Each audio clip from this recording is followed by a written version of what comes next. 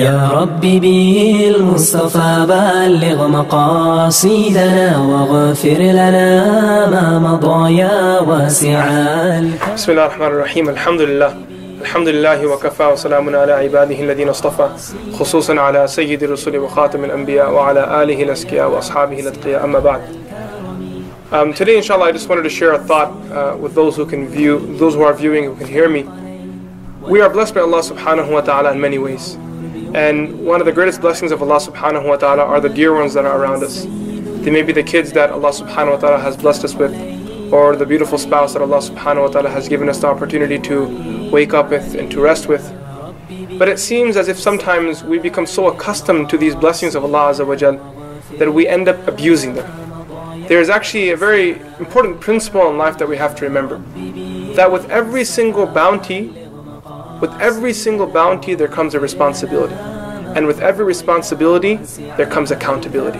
Allah Azza wa Jalla says in the Quran, ثُمَّ لَتُسْأَلُنَّ يَوْمَئِذٍ عَنِ النَّعِيمِ Now the reason why I bring this up for this particular clip of ours is because in our community we've seen over the past few years and a crazy influx in domestic violence. And this violence has been taking place between parents and their kids, um, husband and wife, Husbands are beating their wives up, wives are going crazy on their husbands.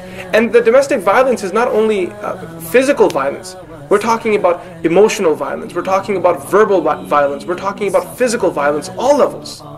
We have to always remember that we are questionable by Allah subhanahu wa ta'ala. For every time we raise our voice against our children or our spouse, we should remember that Allah will ask us regarding this on the day of judgment. If there's ever a time that we frown at our children or our loved ones in anger, then we are accountable by Allah subhanahu wa ta'ala for this. For not being equal to them and being unjust to them, we are accountable by Allah subhanahu wa ta'ala on the day of judgment. For striking or saying bad words to them, we are accountable to Allah subhanahu wa ta'ala. Remember the very powerful hadith of the Prophet sallallahu alaihi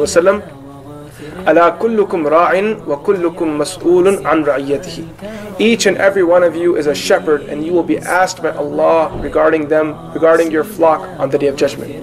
Now that's one side. So we should be careful, we should be mindful, we should be fearful of Allah of ever oppressing any person. Never ever oppress anyone. Because Allah Azza wa will hold you accountable for your oppression. Never believe you got away with it. Never believe.